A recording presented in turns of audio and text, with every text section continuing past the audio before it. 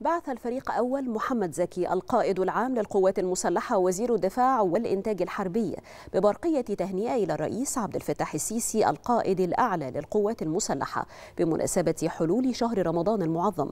وجاء في نص البرقية أن رجال القوات المسلحة يؤكدون على استمرار البذل والعطاء أوفياء للمهام والمسؤوليات التي توكل إليهم متمسكين بالقيم والمبادئ السامية التي دعا إليها هذا الشهر الكريم لتظل القوات المسلحة حصنا يصون الوطن ويدافع عن مقدرات شعبه العظيم.